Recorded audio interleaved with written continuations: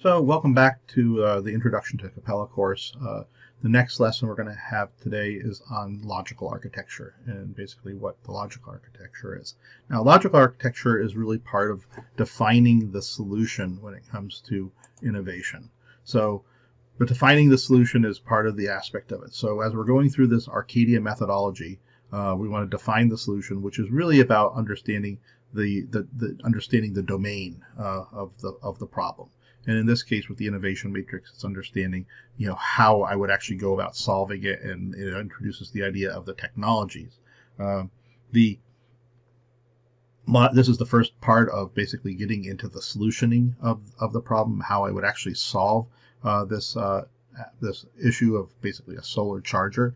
And just a reminder again, this is what we're designing, and we're going through the process of designing uh, with this. So during this logical architecture, you basically start to see you, are going to work with a logical architecture blank diagram as the key diagram. And with this diagram, you'll start to pick uh, abstract components that you basically want to that you're considering to be used in, in the solution. Um, you can do this logical architecture multiple different times with possibly different solutions. So the idea could be is that this could be how you could sketch out some possibilities of how you might want to build it. Uh, you basically are going to put components onto this diagram uh, they're just going to be simple boxes, but they're going to represent things that will probably be ways to solve the problem. Uh, you'll become familiar of how to then map functions to the components. You'll see that the capability uh, could deliver is now being delivered through a functional chain this with these components in mind. So basically, the system functional chain now has become a logical functional chain. You'll you'll see how the logical architecture can be annotated with possible components as you're starting to investigate what you, how you could possibly implement this. And it's also a, a stepping off point for you might actually start building something with prototypes. Uh, maybe not the exact thing you're going to build, but you might start doing some type of prototype development. So I'm going to switch now over to the demonstration and kind of show you some of these capabilities with uh, the actual tool.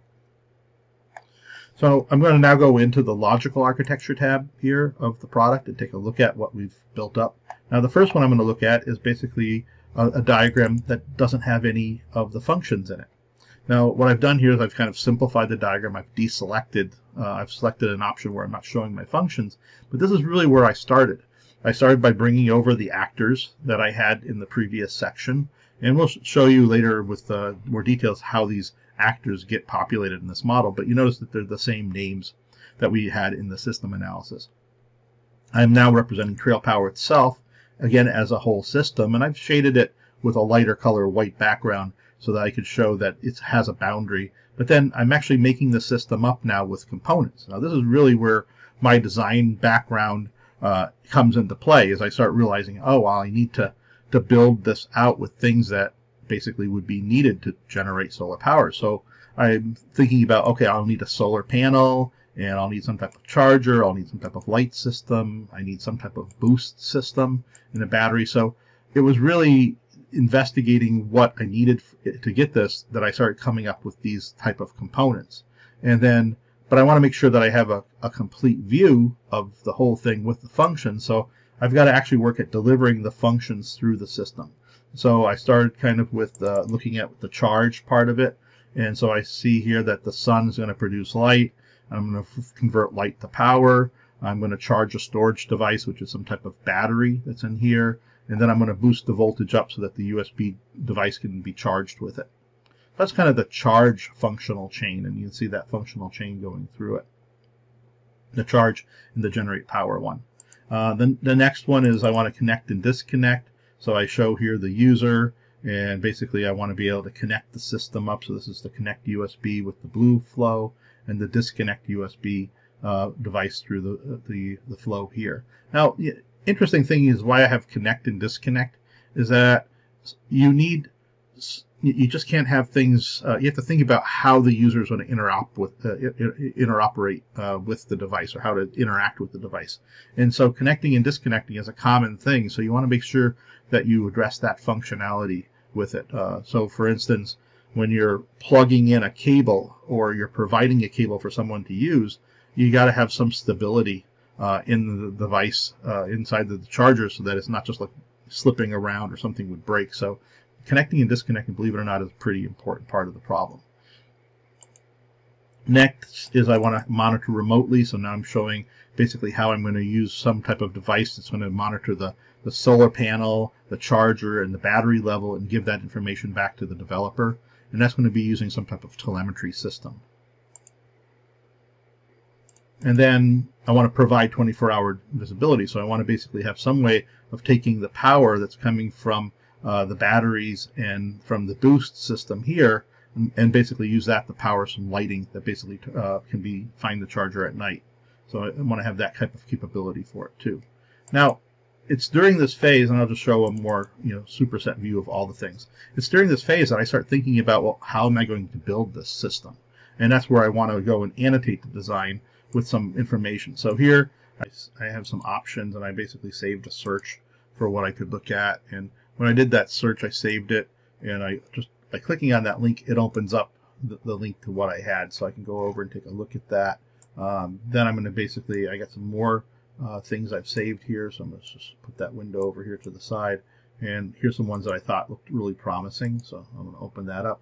And sure, here's the uh, the link. And, and this is actually the part that I ended up using, this, this little device, this $299 device that helps convert the uh, battery voltages uh, that you get from a, a typical lithium ion battery and converts that into a, a USB power.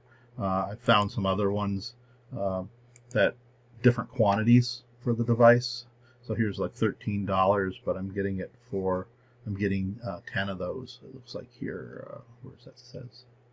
So, you know, in, in that one shipment. So definitely various options that you can use to basically get this, um, that you can use to basically document what your, your thoughts are. Uh, likewise, I can go over here to the solar panel and see I have the same thing for the solar panel. I've, I found some uh, there from a Banggood site. I can actually go and I saved one from an Amazon site. So I can start capturing information about what I might use for the different solar panels to build the system out of. And then, you know, eventually that led to the actual locating of, of components like this that I could start using essentially in prototypes. So this, this is a simple little solar panel here that I've brought together. Uh, and, and then here, some of the parts some other additional parts uh, that basically would start shaping out the design. So anyway, back uh, to this uh, view. So we'll go back to the, the, model. So that's basically what the, the goal is here is to realize the functional chains that were created at the system level, and now they're basically being realized in the logical level. So I'll go back and just take a we'll take a little pick, uh, peek at what we were what we started with with the system architecture. So here's kind of the system architecture view. And, and now you're seeing the corresponding logical architecture view uh, over here. So this is what we're at now. And you can see that I started dividing it up into components and parts from it. And this is what we had before. We, we basically were just saying the trail power as kind of a black box. You can still see here's the trail power device. And as we went through the transitioning from system analysis to the logical architecture, uh, we started populating you know, and dividing up the, the functionality so that I could deliver it with real components. I mean, I couldn't just say create electricity out of thin air. I actually have to figure out how to do that. And that's where this concept of understanding the domain is really important. Um, but typically with large companies, people that understand the problem and understand what the customer needs may not be the same people that understand the domain. And so uh, that's the power of a tool like Capella is it helps bring those two audience together so that someone who's figuring out, well, this is what the problem needs to solve over, over here, and this is basically the means to solve that problem.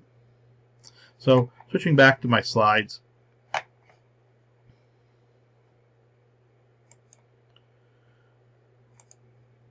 you saw then how we went from basically the components to how the, the, functionality then is being delivered to the component. You saw how I could annotate the the, the model with uh, information to help me locate parts and components for it, and and start looking at possible options for choosing parts with that. And that's a powerful part of the problem uh, of the developing the solution is knowing what your options are, and then you start doing some thinking about an analysis of how the options can be connected together to basically deliver a solution.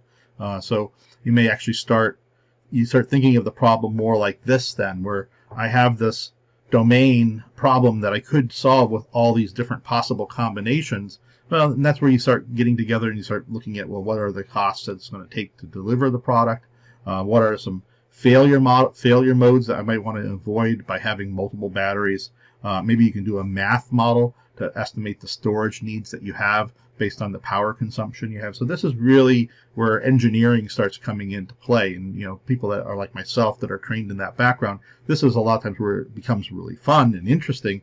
But at the same time, if I didn't have that good idea of what the problem was from the from the system analysis, I wouldn't be able to do this as well because I would basically be not I wouldn't have set the destination that I want to arrive at with my architecture.